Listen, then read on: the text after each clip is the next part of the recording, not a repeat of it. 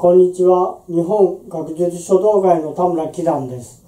今日も単行者の前後百科から前後を選び、その解説文を読んでから後でその前後を半紙に筆で書いています。今日の言葉は、八風吹けどもどうせずです。この後に万古人に名を伝うと続き寒山詩に出る言葉です。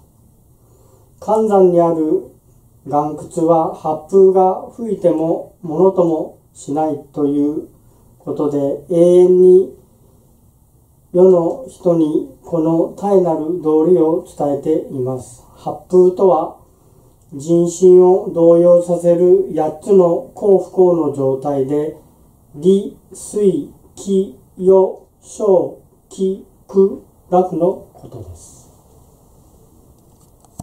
それでは今から八風吹けどもどうせずを書いてみます。